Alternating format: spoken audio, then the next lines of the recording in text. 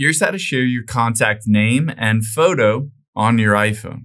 Now just open up the Contacts app here, and if you want to be able to share your name and photo, you can see at the very top is your card. So just tap on My Card, in this case, of course, Trevor Nace, and tap on Edit at the top right.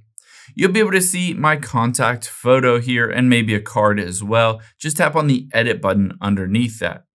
Now you can go over to any one you want. Let's say this one. I want the full screen card as well as the background and profile picture. I'm gonna hit done here.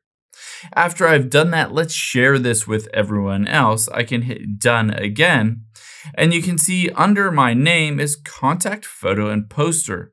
Now I'm gonna tap on it and it says name and photo sharing. If that is turned off, just toggle that on.